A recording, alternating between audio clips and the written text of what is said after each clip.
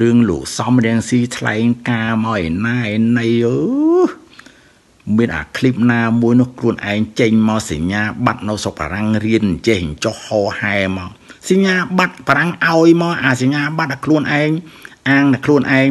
ដោយគេទទួលស្គាល់ថាគាត់នឹងជាកូនប្រសារបស់មេតបអតីតមេតបខ្មែរកូនប្រសាលោកញាក់ជូឡុង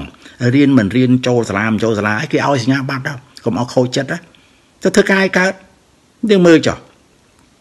ធ្វើនយោបាយប្រហែលឆ្នាំបានไปស្អីឲ្យរំលឹកជាប់គុកណាហឹមអាហ្នឹងមួយហ៎ពីរអាកូនចៅទាស់គ្នាបែក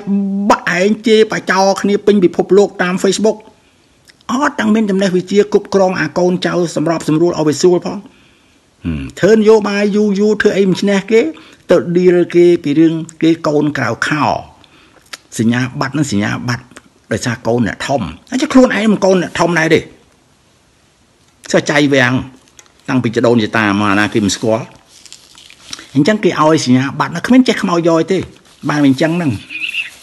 ឃើញទេរកតាលុយហ្នឹងហើយអួតទៅអូធ្វើការប្រហែលឆ្នាំអីទិញផ្ទះទិញអីណាទៅធ្វើនយោបាយលក់ផ្ទះលក់ផ្ទះនៅណាទេសូម្បីតាអាទីស្នាក់ការចាក់រ៉ែហ្នឹងក៏គ្មានអស់មួយរៀលផង អាណាគេមិនដឹងហើយខ្មែរខ្មែរលើកើនឲ្យតែសមនឹងស៊ីភ្ជួរលើក្បាលហ្នឹងឯងតងោលអស់ម្នាក់ម្នាក់វិញខួរកញ្ញាញ់ខួរអស់ហើយដោយសារអង្គលភ្ជួរ